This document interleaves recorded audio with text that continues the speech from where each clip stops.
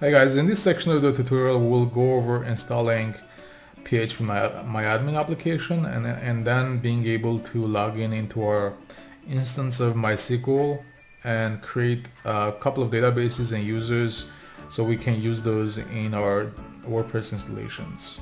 So in our last section we went over how to create and, and publish, deploy uh, your MySQL database to your server if you have not watched that, please go back and watch that video first. We'll also have that in our um, notes section below this video.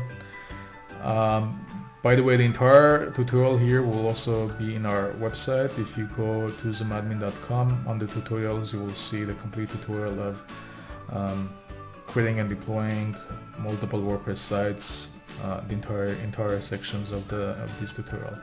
Now in this in this section we'll just cover PHPMyAdmin so let's go ahead and create PHPMyAdmin application here.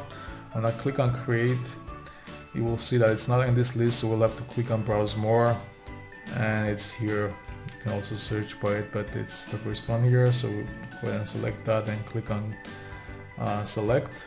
You will see that it's being selected here and we have to name our application and I'm just gonna call it PHPMyAdmin 1 hit continue and select a server to deploy to. I'm gonna select the same server.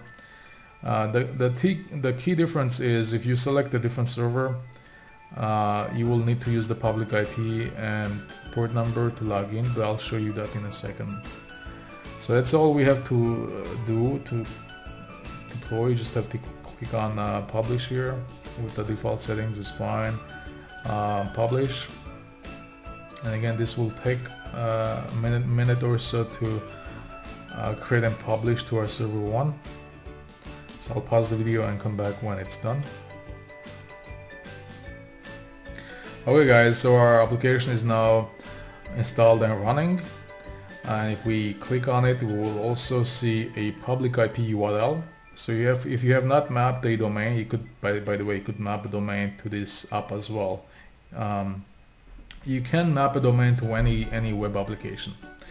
So but in this case we probably don't need a domain for PHPMyAdmin we can just use the port and public IP so we can click and see that it's it's running now and it, it loads fine. So now we need to log in into our MySQL um, MySQL database here. So I would suggest you know bring up a notepad. So just to take some notes here so we know the name of the application is this. So we put the name here, MySQL1. We know the server IP is this. Um, and then we know the port number is this. So we just copy those so we kind of we kind of have these. And I, as I suggested last time, is two ways to log in. One, either using uh, the name of our container assuming you have uh, deployed PHPMyAdmin on the same server that's that's MySQL running on. Um, but if not, you should you should use the public IP with the port. So first we'll try to log in with our MySQL one um, container name, and the login is root, and the password is your MySQL password, the one that you saved when installing MySQL. By the way, if you have not watched that video, go back and watch that video first will give you an idea. So copy paste those here and click on go. So now, as you can see, you are logged in into our MySQL database here. I'm also gonna try to log out um, and log in using the public IP as well, just make sure it's working. So we know our public IP is this. We know the port number is this. We, we have to do colon port number and then the same login here. And let's try to see if this works. As you can see this also works. Again if you are installing PHPMyAdmin on the same server that that's got your MySQL database installed and running you can just use the container name. Otherwise you can use the IP port combination to log in. Now uh, as you know, this these video uh, tutorials are, are, part of a complete tutorial set, which covers the entire tutorial of creating a server, connecting it with ZoomAdmin, and then deploying multiple WordPress sites. We are gonna deploy two WordPress sites. So for that, we are gonna need to create two databases. So I'm gonna go ahead and here uh, click on databases um, and just name, Gonna call it WordPress 1. Um, click on create. And I'm gonna oops. So I'm gonna go back on the server click on the server name here databases again.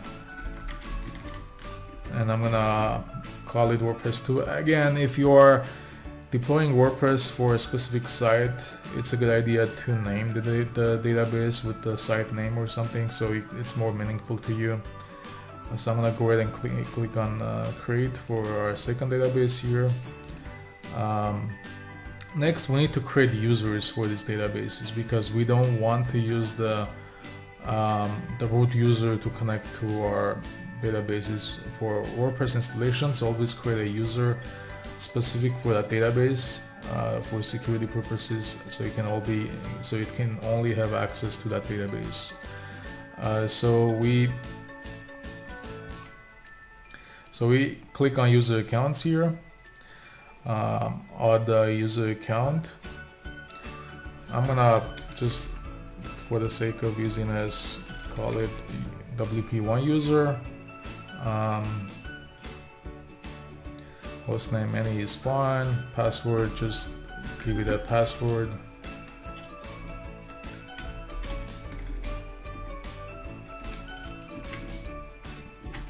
I'm just gonna copy paste something.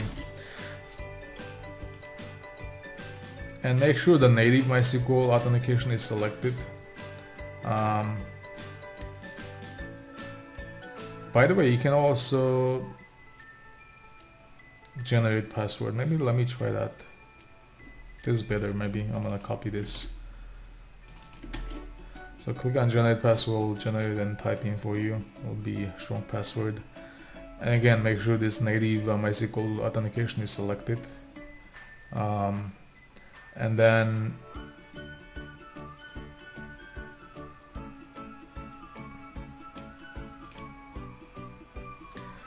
then just click on um, go we don't need to set any global privileges. We only want to specify um, security for that WordPress one database here but we'll do that in a different section.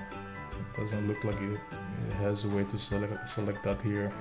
So I'm gonna click on go here to create um, but I'm also gonna create the second database as database user here.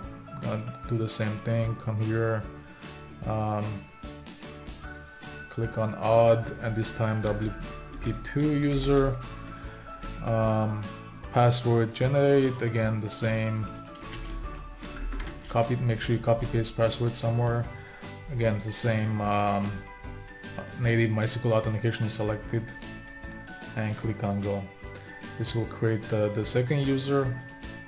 Now if you click on user accounts here, you should see your users um, here. If I click on edit privileges, um, click on databases here so so it's not the global privileges we want to select and we want to select WordPress 1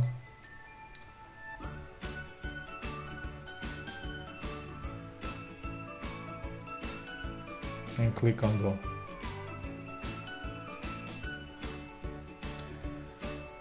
Check all I guess for that database. So this will add basically privileges to WordPress 1 for this user here. And we'll have to do the same thing uh, for our second user except select the second database here and then click on go, check all and then click on go.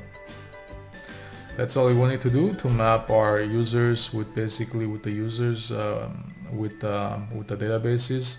And if you click on your database here, come back here, privileges, you will see that that user is here.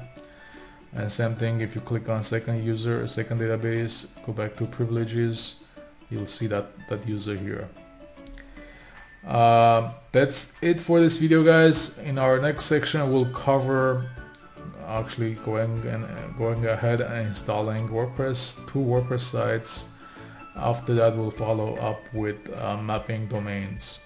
So in this tutorial, we covered how you can install PHPMyAdmin, create databases, users, and map them with each other, and so on. Um, if you have any questions, feel free to always reach out to us, uh, either michael at zoomadmin.com or support at zoomadmin.com. Thank you. See you in the next section.